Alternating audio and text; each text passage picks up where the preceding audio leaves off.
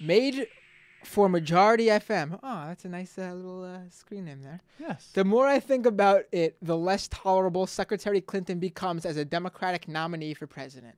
I am certain I'm not alone that I would prefer a far more liberal nominee.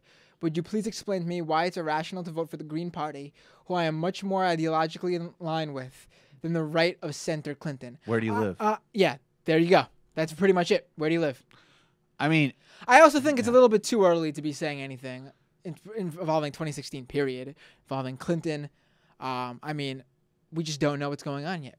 Well, I, I look. My thing about Hillary Clinton is I think that she, the opportunity right now, is this is somebody who has political antenna.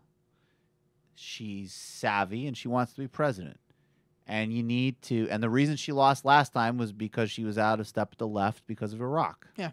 And you need to find every way possible to do something about her her economic policy. But I'll look. I mean, when it co- look look at this way, when it comes down to it, let's just say it's down to Hillary Clinton and maybe a uh, versus maybe a, a certain senator from Kentucky.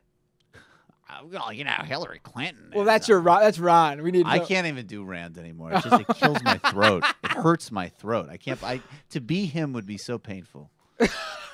But, but In more than say- one way. Yeah, more than one way. But no, I really wish. You know, I think if Elizabeth Warren doesn't run, so somebody needs to run against Hillary Clinton Yes. to seriously make this progressive populist case. That's just, and that would, you know, that needs to happen. I, I mean, he's guess he's too old. I kind of wish, in some ways, I wish Jerry Brown was running. But at any rate, I. But I also just think the other thing that we would probably say really quick is that don't. I mean, you could look at voting as like a thing you do once every couple of years. That hopefully, if you're, in, you know, unless you're in a district, like it takes. It's a fast period of time.